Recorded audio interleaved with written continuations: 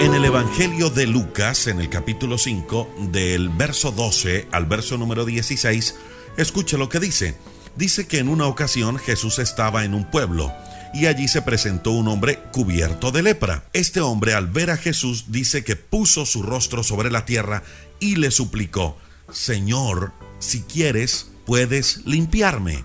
Jesús extendió la mano, tocó al hombre y le dijo, claro que quiero. Y le dijo, se limpió y al instante la lepra a ese hombre se le quitó.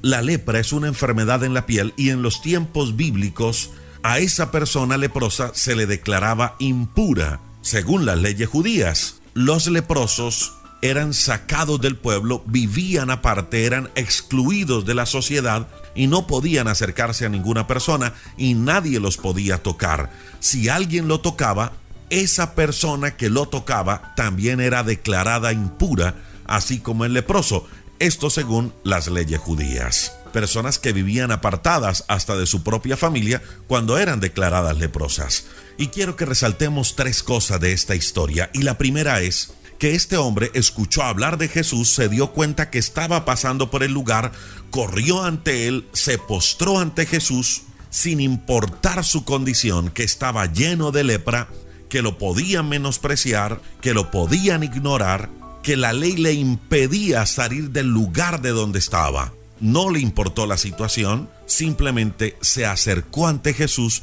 porque él sabía que Jesús podía obrar un milagro en él y podía sanarle.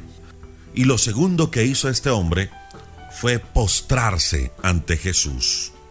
Dice la Biblia que él vino y puso su rostro sobre la tierra eso nos habla de humildad delante de Jesús. Eso nos habla de reconocer quién era Jesús. Vino con una actitud sencilla, vino ante Jesús con una actitud humilde. Y después de postrarse ante Jesús, le dice, Señor, si quieres, puedes limpiarme. Le ruega a Jesús, le pide a Jesús que obre un milagro en su vida. Y lo tercero para resaltar en esta historia es la respuesta de Jesús. Jesús le dice, claro que quiero, se limpió. Tres cosas resaltamos de esta historia. Un hombre que vino ante Jesús, un hombre que reconoció su condición. Estaba enfermo, pero sabía que Jesús podía sanarle. ¿Cuál es nuestra condición? ¿Cómo estamos viviendo usted y yo en este momento? Hay enfermedades, amargura en el corazón, temores, tristezas. Nuestra vida se encuentra vacía. Los problemas económicos nos están azotando. Hay vicios que quisiéramos superar y no hemos podido. Otro tipo de enfermedades, problemas en casa, problemas en el hogar, problemas familiares, problemas emocionales. El estrés nos está enfermando cuál es nuestra situación. Le invito para que tomemos la misma actitud de este hombre leproso. Acerquémonos ante Jesús, sin importar la situación que estemos viviendo, sin importar nuestra condición. Presentémonos ante Él, porque Él puede sanarnos, Él puede limpiarnos, Él puede liberarnos. Al igual que este leproso, acerquémonos ante Jesús con un corazón humilde. Recuerde que Él tiene misericordia del humilde, pero al altivo Dios lo mira de lejos. Y así como Jesús le dijo al leproso que sí quería limpiarlo, Jesús también está dispuesto a liberarnos, a sanarnos, a levantarnos, a cambiarnos, a hacernos nuevas personas a bendecirnos, a restaurar nuestra vida. Jesús está dispuesto a cambiar nuestra situación y a dar lo mejor de Él para nuestra vida. Lo único que tenemos que hacer usted y yo es acercarnos ante Él, acercarnos en la mejor actitud. Cuando hacemos eso, veremos los milagros de Dios. Le invito para que juntos Oremos a Dios. Señor, te damos muchas gracias por este nuevo día, por la bendición de la vida.